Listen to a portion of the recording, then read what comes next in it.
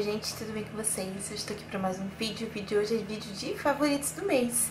Mas antes de começar para vocês os meus queridinhos do mês de fevereiro, eu gostaria muito que vocês clicassem em gostei aqui embaixo para mim, me dá um joinha, que assim vocês me ajudam muito na divulgação do vídeo. Também se inscreva no canal se você ainda não for inscrito, porque inscrito recebe os vídeos em primeira mão. Mas não pode esquecer de clicar no sininho de notificações também, tá bom? E é isso, vem comigo. Então vamos lá, gente. Eu separei algumas coisinhas que foram favoritas esse mês de fevereiro para compartilhar com vocês e vamos começar. Vou começar com esse produtinho aqui, gente. Sim, é a geleia de vaselina, tá? 100% pura da Vazenol. É, esse produto aqui, gente, é um produto multiuso. Eu uso ele para várias coisas, mas esse mês eu quero destacar para vocês que eu usei muito ele na minha orelha.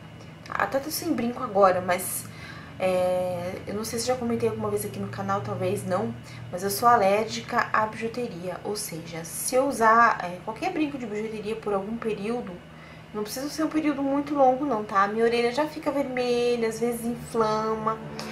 E o que, que eu tenho feito para conseguir usar os meus, as minhas bijus, gente? Eu passo um pouquinho da vaselina na orelha antes de colocar o brinco. Gente, vocês não sabem a diferença que isso fez na minha vida. Sério. É, não deixo nunca mais de fazer isso antes de colocar as minhas bijus, porque não irritou mais, não inflamou mais, não ficou mais vermelho. Então, além de várias outras funções que ela tem, essa é uma dica assim, ó, excelente. Outro produtinho que terminou, gente, foi o meu Primer Mágico Unicórnio da Diva More, tá? Ele, ele é um produtinho que você pode aplicar tanto antes da maquiagem como um primer ou antes do hidratante, que normalmente é a forma que eu, que eu uso, tá? Então você pode usar ele como um tratamento, né? Porque ele tem extratos naturais antioxidantes, tá? Então é, a função que eu gosto de usar ele é antes do meu hidratante. Ele é um produtinho de fácil absorção para a pele, deixa a pele sequinha, mas sem ser sem ressecar a pele, pelo contrário, ele hidrata a pele, tá? E ele tem extrato de açaí, hortelã, papaya, pitanga e oliva. Então ele é muito rico em vitamina C também, tá? É um produtinho top com precinho maravilhoso. A média de preço dele é de 20 reais. Outro produto, gente, é um pincel, sim, pincelzinho. Esse aqui é o pincel de contorno da Ruby Rose, tá? É o F05. E, gente, eu não tô conseguindo mais usar nenhum outro pincel. Eu acho que até já favoritei ele no vídeo passado, do mês passado, não tenho certeza. Mas, gente, eu tô... Ah, eu não consigo mais usar outro pincel pra fazer contorno. Porque ele tem um tamanho pequenininho que encaixa muito certinho aqui nessa região, gente. E ele é muito macio. Eu tô realmente apaixonada por esse pincel. Não tô conseguindo mais usar outro pincel pra contorno. Isso aqui tá ficando sério. Agora vamos para as maquiagens do mês, que foram as minhas favoritas. Gente,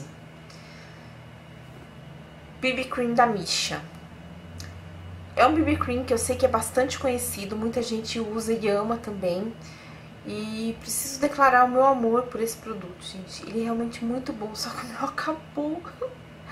Sim, vai entrar no vídeo de acabados também, porque ele terminou. Porque ele tem uma cobertura muito boa, é, ele tem um acabamento muito bonito na pele e ele tem fator de proteção 42, o que potencializa a nossa fotoproteção. Então, assim, gente, se você tiver a oportunidade de comprá-lo, eu recomendo, tá? Aqui no Brasil ele custa um pouco caro, na verdade não um pouco, mas muito caro, tá? Mas se você tiver condições de investir, vale a pena, tá? É um produto que realmente compensa, porque além de, de fator de proteção, ele tem outras funções também, inclusive de tratamento da pele, é, promete clareamento da pele e tal. É, eu não consegui ver esse tipo de, de de ação nele na minha pele, porque precisa ser com um uso contínuo. E como vocês sabem, eu sempre estou fazendo a rotação dos meus produtos, então eu não mantenho, né? É, mas acredito que se você manter uma rotina com ele, de usar ele todos os dias, ele vai te dar essa, essa ação clareadora na pele também, tá? Então é um produtinho que realmente vale muito a pena. Acho que se você conseguir comprar fora, a gente acaba saindo mais barato, tá? Mas é vale a pena testar.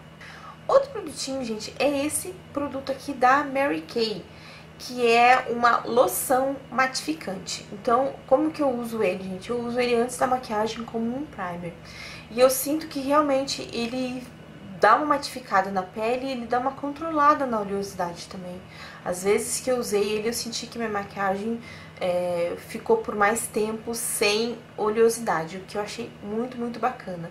Ele tem uma textura bem fluida, ele é bem líquidozinho, assim, bem fluidinho. É um creminho que você passa, ele some na pele, deixa a pele sequinha e faz com que a tua maquiagem dure mais tempo também, sem oleosidade excessiva. Paleta Mischief Minx da MAC. Gente, eu tô num caso de amor com essa paleta esse mês, assim.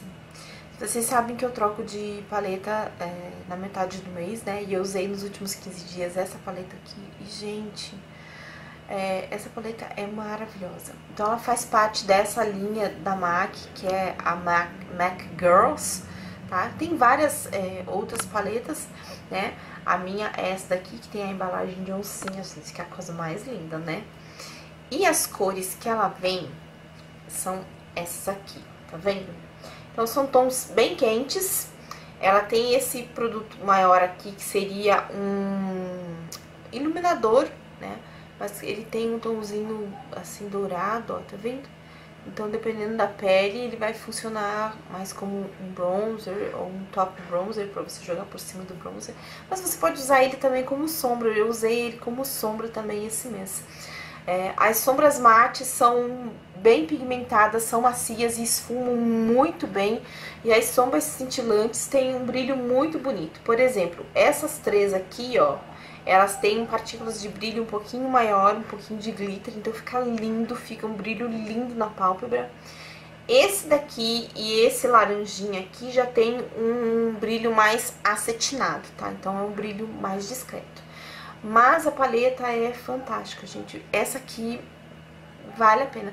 Eu sei que tem pessoas que não gostam das sombras da MAC, mas se você é, tem uma impressão ruim das sombras da MAC, eu sugiro que você é, teste essa daqui, gente. Eu tenho certeza que vocês vão amar, porque realmente eu sinto que a qualidade dessas sombras aqui é superior às tradicionais que a gente está acostumada. Né? Eu não sei o que acontece, eu tenho algumas paletas da MAC que tem realmente as sombras mais durinhas, então é um pouco mais difícil. Mas essas aqui esfumam lindamente, são bem pigmentadas, é... então vale a pena, gente, vale muito a pena mesmo. E o último produtinho, gente, é um produtinho de edição limitada, me desculpe, mas acho que vocês não vão conseguir encontrar, mas eu precisava mostrar pra vocês, que é essa paleta de iluminadores da Laura Mercier. Ela foi uma edição limitada, se não me engano, de uns dois anos atrás, e ela vem com quatro cores de iluminador, ó. Tá? Ela vem com esses quatro tons aqui. O que eu uso mais são esses três aqui, mais essa cor aqui, que é um tom assim champanhe, tá? Esse rosado aqui fica lindo também, então dependendo da maquiagem, se ela, a maquiagem puxar mais pros tons de rosa, esse iluminador fica lindo. O dourado também é incrível, tá? E esse tom aqui é um tom é, mais de bronze mesmo, ó, tá vendo? Então, ele, ah, mas ele é lindo, gente, olha só. Ele tem uma cor muito bonita, tá? É, a qualidade é muito bonita, eles têm um brilho que não é um brilho tão estourado, é um brilho assim mais sutil.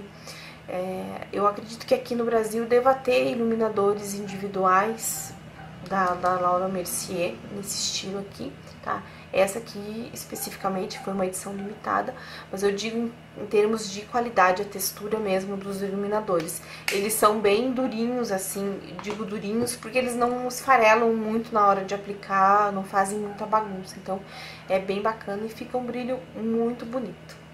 E é isso, gente. Foram esses os meus produtos favoritos do mês de fevereiro. Vocês viram que não tinha muita coisa, mas foram coisas que realmente fizeram diferença pra mim esse mês, que eu realmente gostei muito. E eu espero muito que vocês tenham gostado, tá bom? Um grande beijo e até o próximo vídeo. Tchau, tchau!